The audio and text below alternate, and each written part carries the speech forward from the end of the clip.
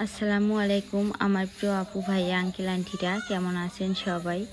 আশা করি যে যেখানে আছেন সবাই ভালো আছেন, সুস্থ আছেন। আলহামদুলিল্লাহ, আল্লাহ পাকের অশেষ রহমতে আমরাও সবাই ভালো আছি। আমার গ্রামীণ দৈনন্দিন জীবনযাপনের নতুন আর একটা ব্লগে আপনাদের সবাইকে অনেক অনেক স্বাগতম জানাই। আজকে সোমবার, আর এখন কিন্তু বাজে সকাল আটটা।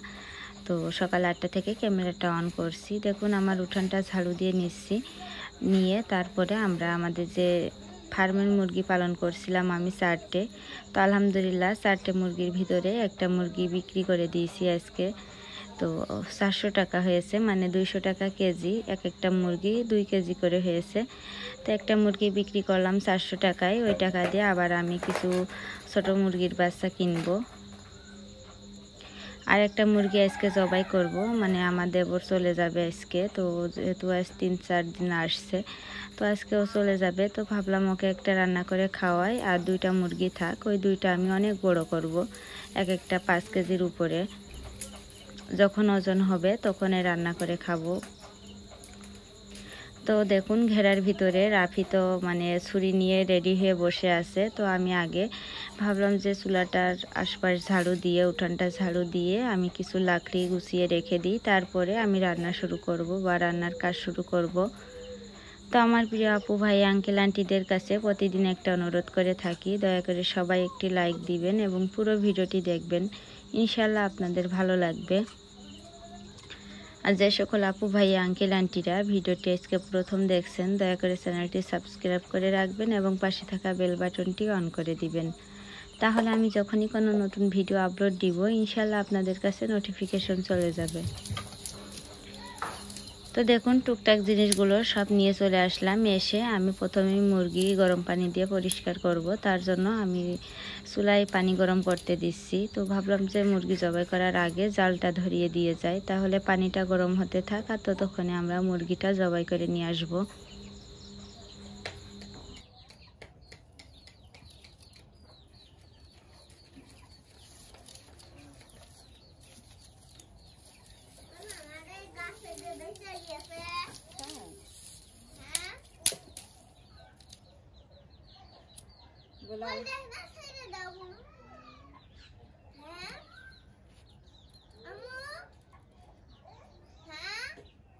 ওকে নেই তো সারতি হয় কোনে ছাড়বো উঠোনে ছাড়লে তো কুকুরি ধরে নিয়ে চলে যাবে না?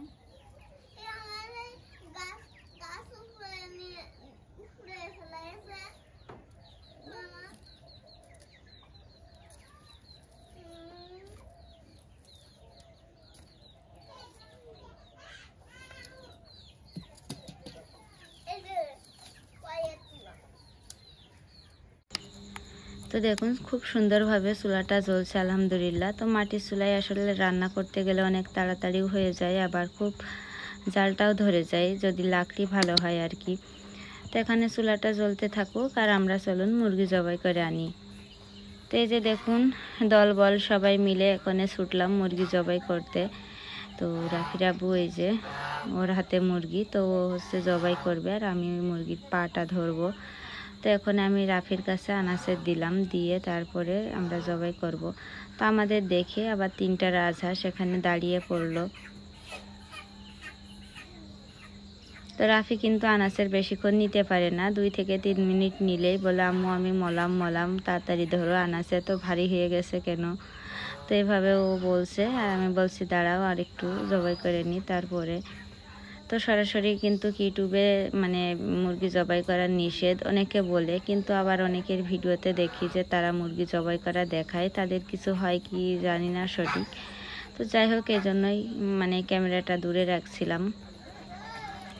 তো দেখুন গলা কাটা মুরগির ছুটাছুটি বা গলা কাটা মুরগির লাফালাফি দেখলে খুবই খারাপ লাগে যে ছোট্ট একটা মুরগির জীবন বের হতে কত মানে কত সময় লাগে আর কত কষ্ট পাই। তাহলে যখন মানে চারদিকে দেখি মানুষের যখন কত রকম খবর শুনি, না জানি ওই মানুষগুলো তখন মৃত্যুবরণ করে কত কষ্ট নিয়ে, তো এরকম মনে হচ্ছিল আমার ওই মুরগিটার দিকে তাকিয়ে থেকে। তো যাই হোক, তারপরে বাড়িতে আসলাম, এসে গরম পানি দিয়ে আমি মুরগিটা পরিষ্কার করে, এখানে মুরগিটার গায়ে ছোট ছোট পশম একদম মানে চোখে দেখা যাচ্ছে না, কিন্তু পশম আছে। তো সেইগুলো আমি রাফির আব্বুর কাছে দিলাম, বললাম, তুমি এগুলা খুঁটে দাও আমার। খুঁটে দিও আর আমি ততক্ষণে মশলা বাটি আর কলপারে অনেক থালা বাসন পড়ে আছে। যেহেতু মানুষ বেশি এখানে, থালা বাসনও বেশি। আর এদিকে ভাতের চুলায় ভাতও বসিয়ে দিয়েছি। তো রাফির আব্বু ছোট ছোট যে পশমগুলো ছিল, তো সেগুলা খুঁটা হয়ে গেছে। এখনও মুরগিটা আমার কেটে দিচ্ছে।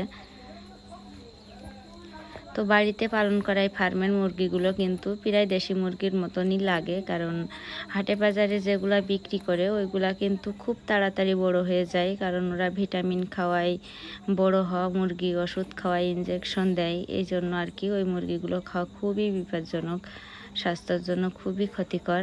আর আমাদের এই যে বাড়িতে দেখুন, আমরা শুধু ফিট খাওয়াই বড় করছি মানে পোলট্রির খাবার পোলট্রি মুরগির যে খাবার খাই ওইটাই খাওয়াইছি। সাথে কোনো মেডিসিনও নাই কোনো ইঞ্জেকশনও নাই।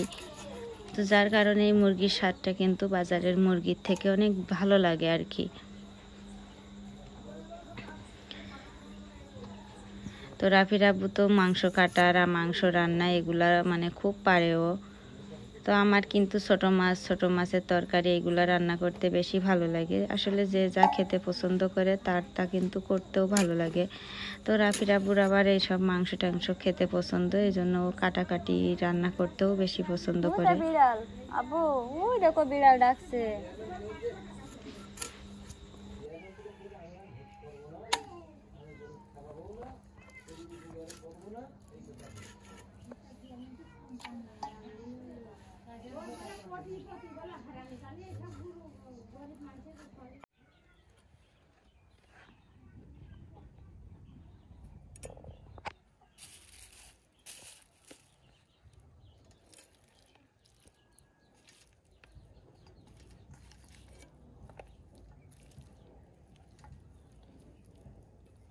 তো দেখুন এখানে যে মুরগিটা কাটা হয়ে গেছে তো এখন আমি মুরগি তিন ভাগের এক ভাগ রেখে দেব পরে আর কি রান্না করে খাওয়ার জন্য। আর দুই ভাগ রান্না করব আজকে।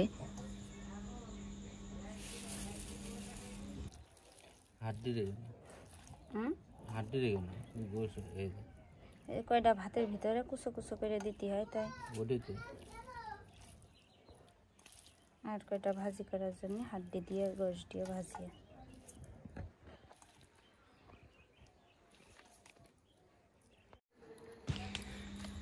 তো দেখুন, রাফি রাব্বুর মুরগি কাটতে কাটতে আমি কিন্তু অল্প একটু ভিডিও করছিলাম। তারপরে অফ ক্যামেরায় আমি মশলা বেটে আনলাম আর কলপাড়ে যে থালা বাসনগুলো ছিল সেগুলোও সব মেজে ধুয়ে ভাতগুলো মারগালাতে দিয়েছি। ভাতগুলো মারগালানো হয়ে গেছে।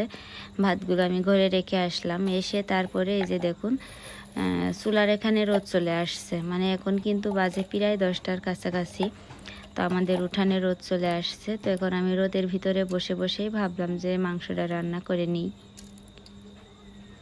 তো মানে মাংস রান্নার কি বলব নতুন করে? তো যেভাবে আমি রান্না করি আর কি, সেভাবেই রান্না করছি। আপনারা দেখতে থাকুন।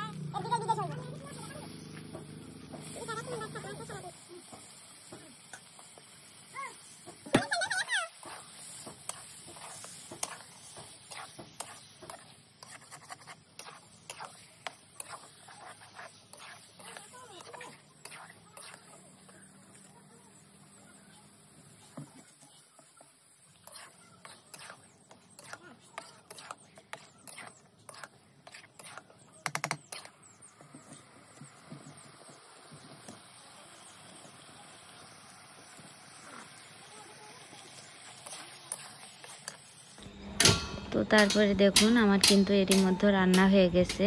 আর আমরা ভাত খেতে মানে বসে গেছি ঘরে। তো এখানে চারজনের ভাত বাড়ছি, আমার দেবরের, রাফির আব্বুর, আমার আর রাফির। তো মুরগির মাংসের কালারটা কিন্তু খুব সুন্দর হয়েছে, তবে ঝোল রাখা হয়নি। রাফির আব্বু বলছিল ভুনা খাবে একদম।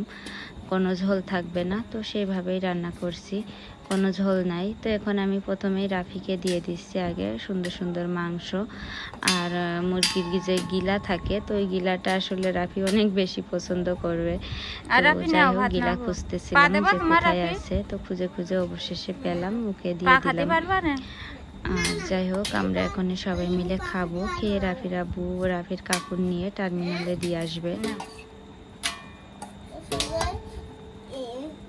রান ছোট তো আমার প্রিয় আপু ভাই আঙ্কেল আন্টিরা আমাদের আজকের ভিডিওটি কেমন লাগছে আপনাদের কাছে তা কিন্তু কমেন্ট করে জানাবেন। আর আমার কথাও মানে কোথাও যদি কোনো ভুল ত্রুটি পেয়ে থাকেন বা ভুল কিছু মনে হয় তো দয়া করে সবাই কমেন্ট মানে কমেন্ট বক্সে কমেন্ট করবেন আর সবাই ক্ষমা সুন্দর দৃষ্টিতে দেখবেন আমার ভুলগুলো শুধরিয়ে নেওয়ার জন্য কমেন্ট বক্সে ভুলটি ধরিয়ে দিবেন। তাহলে ইনশাল্লাহ আমি পরবর্তী ভিডিওতে সেটা স্কিপ করব।